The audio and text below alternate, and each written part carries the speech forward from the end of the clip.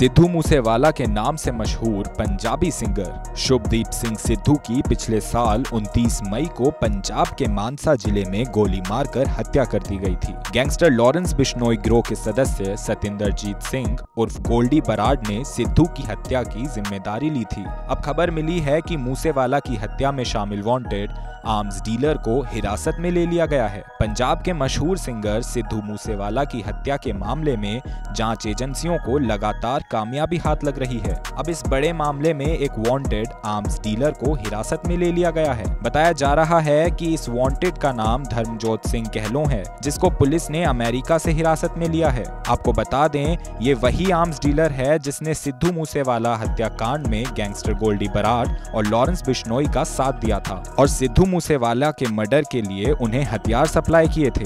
Media reports की माने तो गोल्डी बराड कनाडा में छिपा हुआ है, जबकि लॉरेंस बिश्नोई भटिंडा की सेंट्रल जेल में बंद है। सुरक्षा एजेंसियों के हवाले से सामने आया है कि जल्द ही सरकार धर्मजोत सिंह कहलो को भारत लाने के लिए एफबीआई से संपर्क करेगी। ऐसे में इस बड़ी सफलता पर आपका क्या कहना है? हमें कमेंट बॉक्स में ज़रूर बताइए। और ऐसी ही तमाम अपडेट्स के लिए देखते रहिए एबीपी लाइव।